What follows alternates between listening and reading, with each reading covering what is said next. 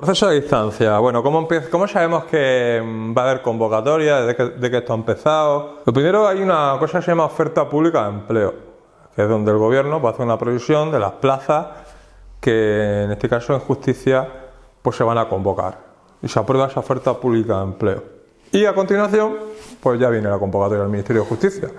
Una convocatoria que se publica en el Boletín Oficial del Estado y donde habitualmente nos van a dar 20 días pues para rellenar una instancia telemática. Eh, últimamente las últimas convocatorias se están haciendo de forma telemática en la página del Ministerio, pagando unos derechos de examen, vacilan entre 12 a 18 euros por cada, por cada categoría. Bien, se termina el plazo de, de, instancia y, luego ya lo que tenemos es una lista de admitidos provisionales y excluidos, donde los excluidos pues tienen un plazo de, subsanación, eh, que suele ser habitualmente de 10 días.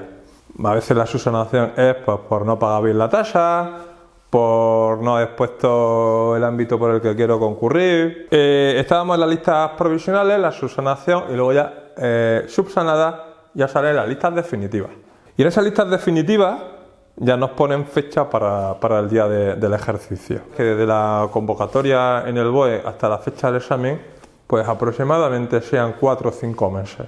Si se convoca, por ejemplo, en el mes de enero, pues fácilmente mayo-junio no, no, estamos, no estamos examinando. Por tanto, repito, oferta pública de empleo, convocatoria, lista provisional, subsanación lista definitiva.